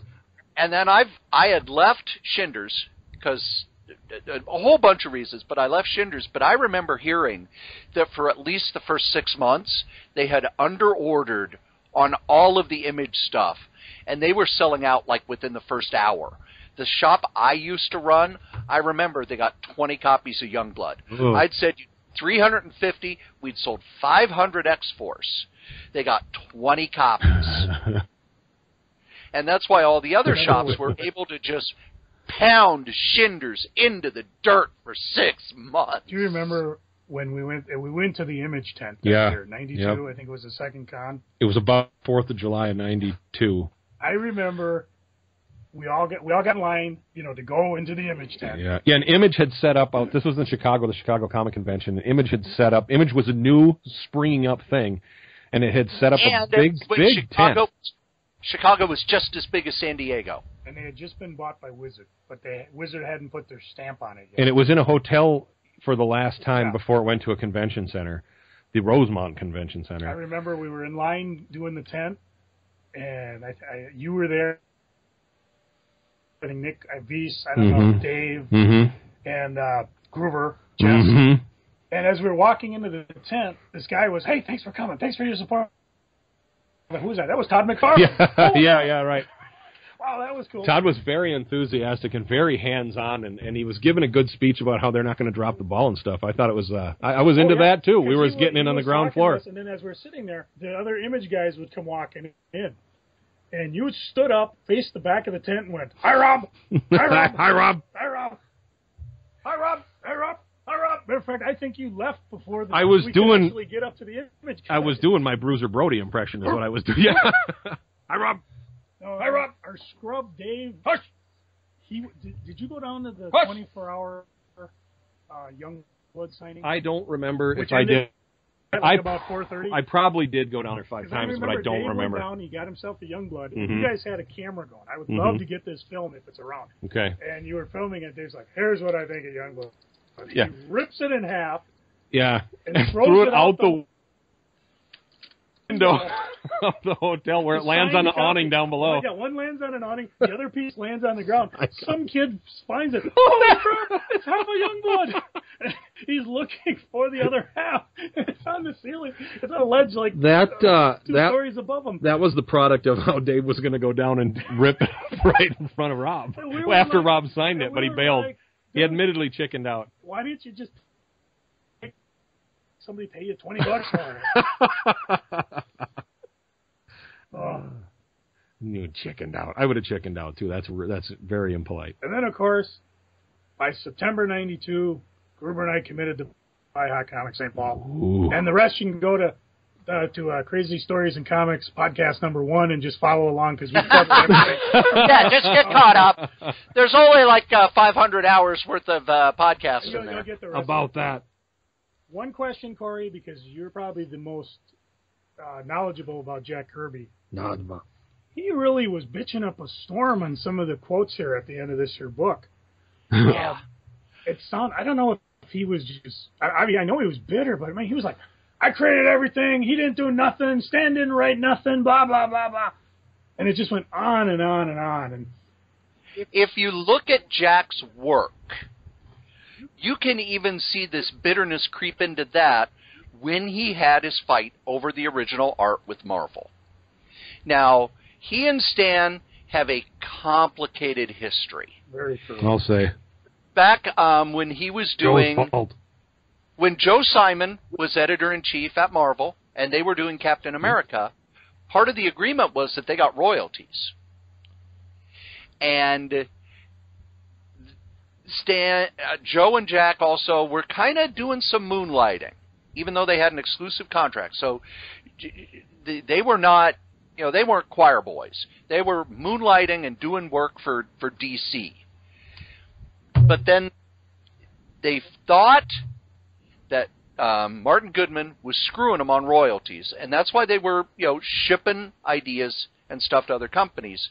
Martin Goodman found out that they were working at DC, fired them. That's why Captain America 10, their last issue. Captain America 11, they weren't involved in. Jack believes Stan is the one who ratted him out. Hmm. And So they never when- worked together again after that. The end. Well, and then when Jack had no place else to go and he went to Marvel, he'll tell this story about how he walked into Marvel and Stan was sitting there at, at, in a chair crying because the movers were coming and taking out the furniture. And oh, boo-hoo, fan. and he told Stan, Recreate. "No, no, no, don't take out the furniture. I can save the company." No one else has a memory of this. Nobody else. Now, and boom. when Kirby worked at Marvel, it was because there was no place else to work other than Charlton, and he didn't want to work at Charlton because Charlton was controlled by the mob. But by the '60s, sales started jumping up, and they were getting merchandising stuff. You look in those comics in '65, you have Thor pillows and Captain America shirts and and all this. And Jack was, you know, he'd worked for Goodman in the in the '40s, and it's the the artist got a cut they're using my art. I should get a cut. Goodman said, okay, your next contract, we'll figure it out. Well, um, Ditko tried to get a contract. He was promised the same thing, and the contract didn't come, and the contract didn't come, and the contract didn't come, and the contract didn't come, and Ditko said, fuck you guys, I'm out of here. With Jack, Joe Simon put in a copyright claim on Captain America, which he legally could do. We created Captain America this many years ago. The copyright is now up for renewal. I created this character independent of Marvel. I want my character back. Goodman promised Kirby that if he would testify for Marvel, he would um, get a staff position and he would get royalties and he would get a piece of the merchandising and blah, blah, blah, blah, blah. So Jack testified that nope, we created Captain America on assignment for Marvel. Copyright claim was thrown out of court. Came time to negotiate the contract. Goodman said, uh, "Yeah, I'm not really thinking about negotiating a contract. We're just going to keep working under under what we have. Well, the contract's up. We need a new one. Now we're just going to keep working under that same agreement." Which you can also point to. That was when Jack stopped creating new characters, when Jack wanted to write his own stuff. So he was working at Marvel, really pissed. He blamed Stan. He said that Stan is the one who's screwing me over. So when DC, he moved out to LA. Carmine Infantino flew out there, said, "Hey, Jack, you know, we'll give you this, we'll give you this. Here's your page rate, blah blah blah." That's why when Jack left, he didn't give any notice to Marvel. He just called him on a Friday and said, "The book that I just sent is the last one I'm doing. Goodbye." Kirby is coming. Yep. Now, I found it interesting in the book. They talked about, you know, we know Kirby went over to DC for Forever People, but Kirby had started a Ragnarok story in Thor, and you tell me if it's true or not. The, the Marvel Comics book we've been talking about claims that these were the new gods that were going to replace Thor and the other old gods. And since he was not allowed to do it with Marvel, he did it. He did. He started this with DC, Damn right. which could have been amazing. Darkseid at Marvel. I, I don't know. It's- Yeah. It's really hard to say. Jack says Victory. that he was creating the new gods all on their own. That he was creating these characters because he didn't want to give give any more characters to Marvel. He'd given enough characters to Marvel because they weren't going to give him royalties, because they weren't going to give him a cut, because they were using his work on TV. You got to remember that Marvel cartoons, they were literally cutting out pages of the comic and turning them into cartoons. They were using his art for TV. And told that, nope, you get your page rate and that's it. So he was creating all these characters. We'll never know if maybe they would have come to an agreement. Jack would have said, oh, okay, now I'll do these books at Marvel. Or if it was, no, I'm just going to create these characters because I want to create characters, and when I go to a new company, I'll use them there. And there was something very symbolic at the beginning of the New Gods because it was Ragnarok happened. The old gods are dead. Then come the new gods. But I don't. I think with Martin Goodman, he never would have given Jack what he wanted. Yeah. Jack was offered John Romita's job before John Romita took it. Jack was offered because Stan was overwhelmed. Stan wanted to no longer be art director. They offered it to Jack. Jack wanted to keep drawing comics. So they went to John Romita Jr., who jumped on it. And if you look at the time, Romita was doing Spider Man. Ah, that's kind of when Gil Kane took over Spider Man, and Romita wasn't doing as much. And he would do like character designs on first issues and stuff, but he was the art director. He designed the covers. He's the one who uh, had Romita's Raiders, who were the guys in the office who did all the art corrections and stuff. So we could speculate all we want. As long as Martin Goodman was in charge of Marvel, Jack Kirby was going to leave. Jesus, you ask Cory what time it is. He tells you how to build a watch. I'll give you one. I warn people. You get me talking about Kirby. Oh, yeah. I give you one quote that Lee talked about. He says in '93 he had a chance meeting at San Diego. Jack said something strange to me. He called me over and said, and again I felt Jack wasn't fully with it. You know, he said to me, oh. "You have nothing to reproach yourself about, Stan," and it was such kind of a strange thing for him to say. I was glad to hear it, but I didn't expect it, and that was about it. People came over, interrupted, and he went away. And, And of course, the Jack main passed reason away for that in was '94. Hmm.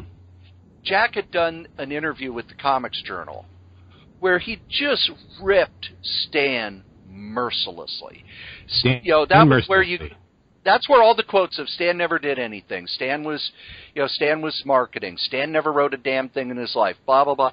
That was in the middle of that art fight, and Jack and Roz were just furious that they felt they were being screwed over. Everybody else was getting their original art back, even if they didn't want it, like Steve Ditko. But with Jack, it was okay. Everybody else gets a little agreement to sign. You get this four-page thing that in it says you can never sell the art. Marvel can come and take the art from your house at any time. Alter no. Sell it. Yeah. put it on eBay, which hadn't been invented for another decade. Co- color it. oh yeah, Yeah. big time. Color color crayons. You if, if you read that journal interview with Kirby, it's so not like the Jack that everybody knew. But then if you go and you read the New Gods, that last story of the New Gods, remember? I don't know if you guys were as big into the New Gods as I was. I wasn't. You? But Metron had a little boy who traveled with him. And that little boy was kind of the youthful sense of wonder. Well, when Jack came back, that little boy day, Jack had came turned back. evil. He thought he was a goner, but when Jack came back, he just wouldn't stay away. That little boy had grown to be evil and cynical and dark and a follower of Darkseid. And that was Jack kind of saying to the reader, look, that youthful sense of wonder, that was great, but Never it's stupid. It's stupid. You're going to get your heart broke. And there are a lot of people who say that when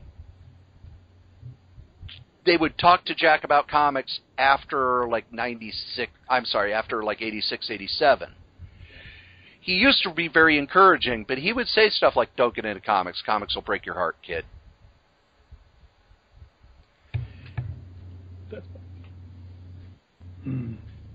I'm sorry. Were you saying something? Nah, nah, nah. Never last. Nah. Cool. So Kirby then. Marvel Comics: The Untold Story by Sean Howe. I, You know who hasn't read that book, Joe? I give it a thumbs up. Who? These guys. I love Oh. these guys. Our sponsors.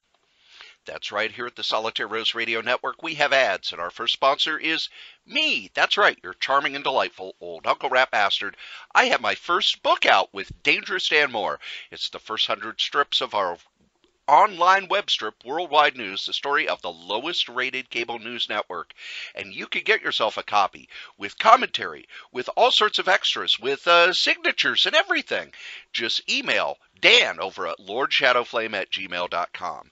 Our top sponsor, who's been with us since day one, is DreamHost. DreamHost.com. You need yourself a website, and DreamHost.com is the number one web host in the whole known universe. Just head over to DreamHost.com, put in the code CRAZY, K R A Y Z, get $20 off your first year. How can you beat that? Our other sponsor is Graze, G R A Z E dot com. Healthy snacks for a healthy lifestyle.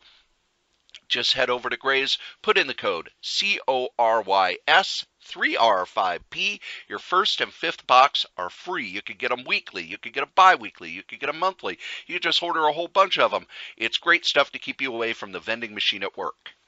Now, if you would like to leave a comment for any of the podcasts that we do, we'd love those. Go ahead and email us at solitairerosenetwork at gmail.com or you can call 952 856 0519. Operators are standing by. Okay, it's just a place that will record your calls, but we'll play them on the air. We'll answer your questions. We love getting feedback. Tell us what you think. Ask a question. Suggest a topic. Uh, be a guest. Send us your stuff. Solitaire Rose Network at gmail.com. If you would like to advertise on any of the Solitaire Rose radio shows, you can. Just email us at solitairerosenetwork at gmail.com. Subject advertising. Thanks. I was going to say Butch, but here, Butch, you can read my copy. Oh, thank you. I need that bookmark. Can't read. Sorry. By The other way, book I'm to read- eBay. Crazy. K R A Y Z. Comics. Comics, something for everyone.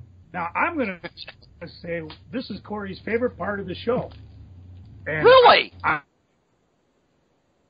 going to limit it. We're at li- we we talked pretty much about Marvel from our first comic to The uh, death of- 1992. Yeah, the death of Superman. What are you freaking on about that particular time period of Marvel? And I'll, I'll start as I'm wont to do. I am freaking that of all these comics we talked about, and even ones previous, that I sold them. I used to have Amazing Spider-Man 29. I've had five copies of Hulk 181. I had Amazing Spider-Man 300. I had New Mutants 98. Oh man, I just I, I got the selling bug, and I I shudder to think what my comic collection look would look like had I actually not sold shit and just kept it. And See, I'm choking up. Yeah. Part of what too. I'm doing now Oh. is even like you know I talked about Byrne's Fantastic Four run. I don't have Miller's Daredevil run. I need to get that because I want to read it. Shot. Um, you know, I will read Secret Wars occasionally, nostalgically, and I have Yeah, it, but I don't have John Byrne's Alpha Flight. Ugh. Uh, Well, guess what, Joe? They're putting out an omnibus of it. Pink I Pearl. may actually pick it up, unless I can dig them out of the quarter box for less. so, you know, there's a lot of things that I've had, and then I even now I go back and it's just amazing considering I started in '77, yet I was able to buy back issues fairly cheap. I got almost the entire X Men run. Mhm. Uh, one year Gruber, my ma gave Pat a call and asked what would be a good book for a Christmas item. Yeah. Uncanny X Men number 94. Wow. Very cool. Yeah. Sold wow. it, of course, but you know, the Yeah, point yeah. he did it. He So tried. That's kind of what I'm freaking out. In fact, you know, we and I love reading.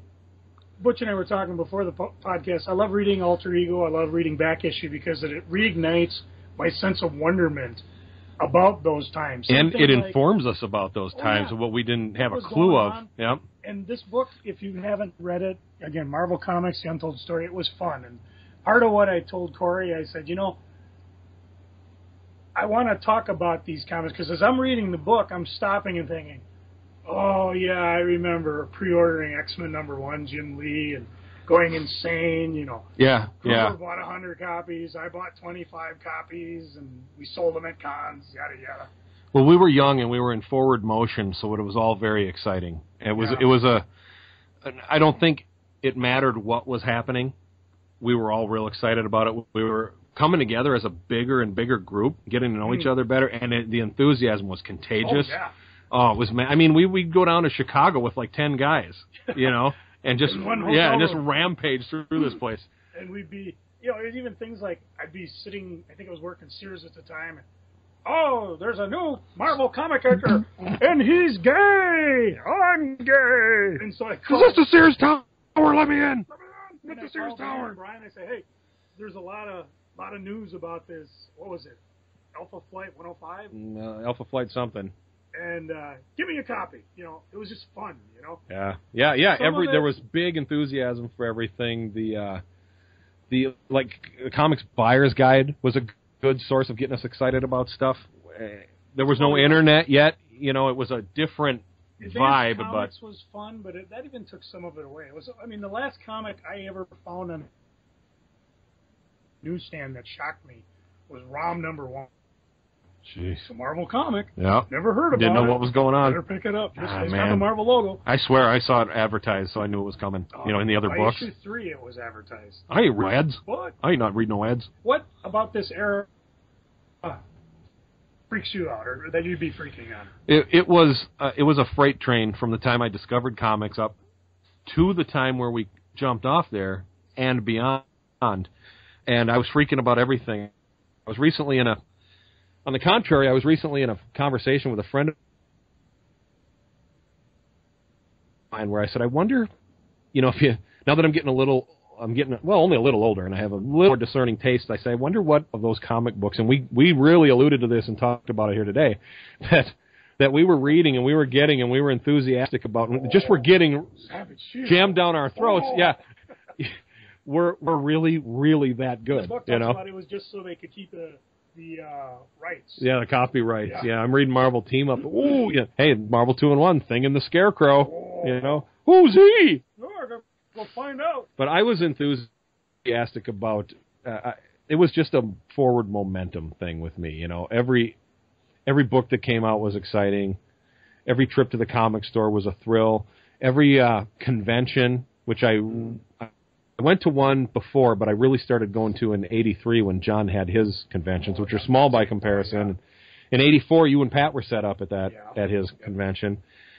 Um, everything that happened just built on the foundation of what I loved about this. As I as I got to um, know more guys who were into it, you get to meet the creators. The whole thing was. I don't have the word for it, but it was really something. Did you ever find yourself Something. trying to hunt down issues because of the little time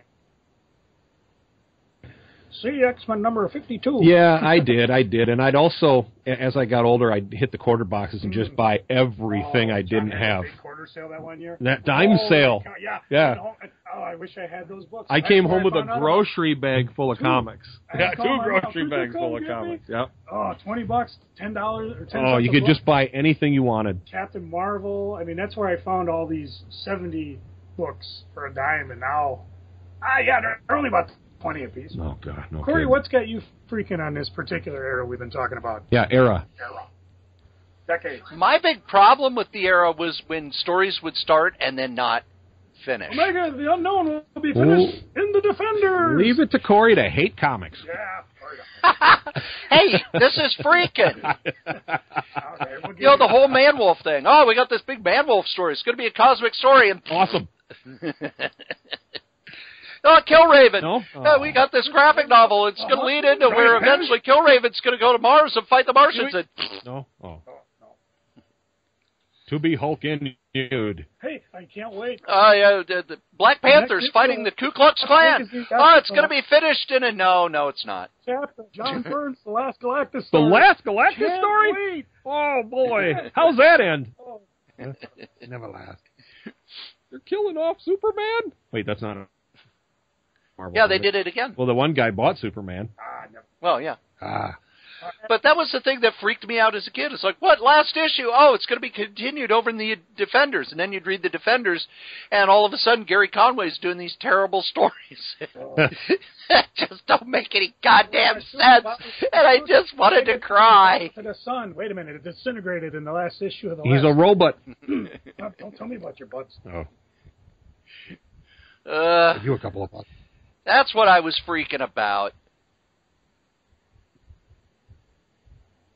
Now, Joe? Geeking. Oh, jeez, I was geeking. As, Oh, Yeah, I don't know how to do well, this. What, what I'm wasn't about- freaking about anything. I was geeking I- on that. I don't know how to do this. What I talked about earlier. I can assemble a run of Byrne's FF. I can get Alpha Flight. They're doing a great job of exploiting, for want of a better word, the uh, Stan and Jack verse, as as I'm wont to call Marvel. Ooh. So even hey, hey, what about Ditko? like I go, well, I haven't Oh. got Amazing No, I'm turning back into Bob Banner. Bob Banner.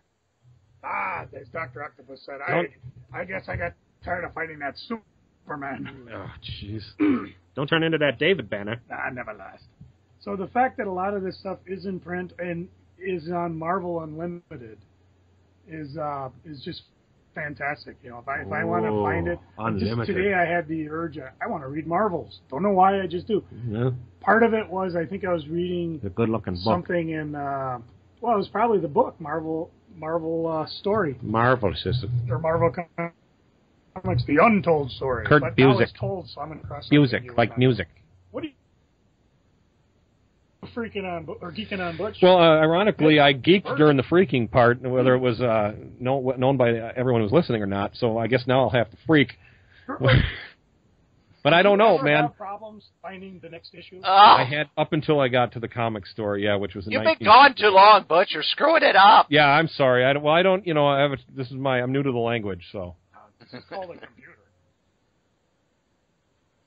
Computer. What? Ooh, it looks like a notebook to me. We can use it to check out all sorts, of, like uh, eBay and what happened at San Diego Comic Con next year, and porn, lots of porn. What happened to next year? next year? Yeah, I guess when I was getting started as a kid, I would often have one part of a two-part story. Oh, Didn't matter if it was the first or second part; it was a hella frustrating. And uh, but that man, I'm telling you, that went away when I got to a comic store. I missed a couple issues here and there, but even then, even when you missed them, within a week or two, you could go to the shelf and buy them for an inflated price, and at least you could still have if them. you're lucky, run down to Shinder's because John, there was one right downtown. Yeah, that's Paul. right. Gruber and I always, even when we started buying at Hot Comics, we'd make that trip. We'd stop Yep. at the the main store and then we'd hit Shinder's just in case we missed something or we knew, hey, this Simonson thing's pretty hot. And then you would wonder how how that guy who went, "Oh, I like a Superman," would get from one store to the other before you. How did he do that? I thought he had some kind of a warp field that he went through. How about you, Cory? What are you geeking on? Marvel wise. When I was during that time, I was geeking on the fact that they were just. It felt like comics were just expanding. You had um, all of these new characters showing up. You had all of these new Fool things. Killer, happening. Ego, the Living Planet. Oh, I'm sorry. I was going to name them all. you had all the Kirby stuff, but then you also had Gerber, Gerber. doing all this weird stuff in his books, and then you had Master of Kung Fu was like Baby Gerber. kung uh, martial arts and spies, and everything felt felt like it was exciting, and and you couldn't wait to know what would happen next. And they had the formula down of what Stan always called the illusion of change. It felt like things were changing, but in the end, they all stayed the same. I think now we're more cynical about it. That oh yeah yeah Captain America's turned evil because they've warped reality. He'll be back. Right, right. Being Iron Man. don't believe anything. Doctor Doom being Iron Man, killing the Hulk. They won't believe anything. They But, I mean, that they- fast, didn't they? They could do a story where Dracula kills Doctor Strange, and you're like, holy crap! To be continued in the next issue. And And then you never find it. Holy crap! but you'd also there was this sense that they were making it up as they went along. And after talking to creators that, from that time, most of them were. Steve Gerber Sure. would throw stuff in, and it's like I don't know where I was going with that. Like the elf with the gun, Yeah, right, right. he didn't know what he was doing with it. love Yeah. I- I don't Or, love how um, he yeah, we'd sit down and we'd get baked on some weed, and then we'd start writing comics till four in the morning. The elf Yeah, with the gun was- was in Defenders. Yeah, Englehart and Starlin were just like, yeah, that sounds cool. And there was a sense of just throwing crap in and figuring it out later. Things are more planned now. Yes, it, it's, it's its structure's better, but I miss those days of creators just, yeah, throw that in. Let's see what happens. So do I dare What ask the hell? when you when when did Marvel Comics jump the shark? For you? Um, my opinion, when Shooter took over. Wow. I lasted it went- longer. it went from anything can happen to oh okay this is an issue oh okay this is an issue oh okay this is an issue oh okay this is an issue and the, it was a the steamroller roller full speed ahead at that point for, me. Yeah. it was and a lot of it was even the page designs were boring it's six panel grids everything was a six panel grid you know, you had some artists who played around with it. Buscema played around with it. Sal Buscema was still doing cool stuff. You know, but a lot of the artists had to stick to that six panel grid, and a lot of them were just hacking it out. see for I, I defy anybody to read Amazing Spider-Man 210 to 220 and think that those comics are any good at all. Oh man, I was oh, I was so hot on that book at that point. yeah, for me it was later. Oh, When I was really? That kid. Moon Knight story? That Moon Knight story, huh? I- That made no sense Ah, at ah, all. come on, I think that Oh, was when Moon 221. Knight- When Moon Knight come out, oh my god, I can't believe it, Moon Knight. Yeah, yeah. Then Yeah, but then Moon Knight shows up in Spider-Man. Oh, cool! This Moon Knight book's really experimental. And, eh, Eh. See, for Uh, me, eh. it was the '90s when I had the Yeah. comic store, and you know we've talked about this. Everything was just editor driven. I, to me, the X Men did not exist because I just did not read them. It was just a blank. Right on. Like I said, they didn't seem like they were part of the Marvel universe. How about you? Did you? Did, when they jumped for you, Butch? Here's what happened. It didn't jump the shark, but it was on its way when they pulled that one more day deal where they they uh, negated Mary Jane and Peter Parker's wedding because that pretty much brought me back to the day I started reading comics and made all of it not count.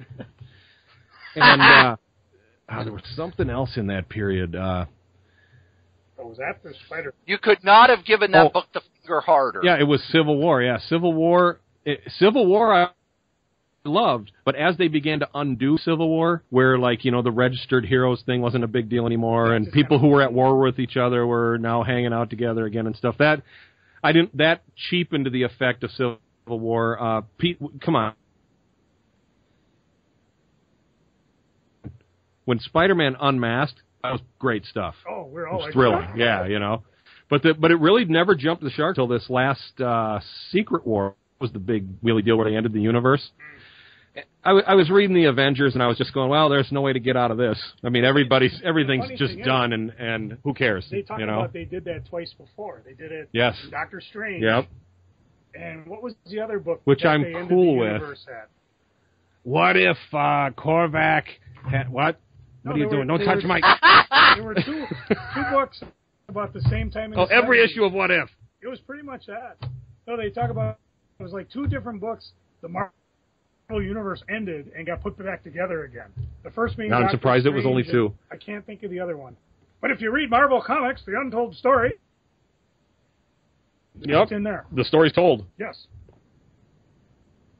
Well, believe it or not, kids, I can't you've listened it. to us blather on about funny books for an hour and a half. Fill in funny books. Yep. And if we don't f up again, you may never hear another fill in. episode. Oh no, we'll always want to hear keep this one, one. or two in the chamber. That's what we were 'Cause things will screw up. show. We were told, yeah, this one probably never see the light of day. Yeah, two Month minutes later, yeah. bam. Hey, the last one we had lasted a few months. And the one we did in December lasted until I think March or April or something. You know, until Cory has a mental breakdown. Cory Until Cory, you know, until somebody screws with Well, Cory's didn't head enough that that he goes, "I can't not talk." So oh, you're you're doing okay now. Have you accepted President Trump? Oh God, Trump, yes, President Trump. Whatever you say, President. Don't worry, I released a President Camacho. Oh, President President Clinton? Who? That'll never work. Never last. And as we say Oh, every Uh, week, t- every week. the comic we like the least, we still like better than the comic that you like the most. Joe. Enough said. Done, bitches!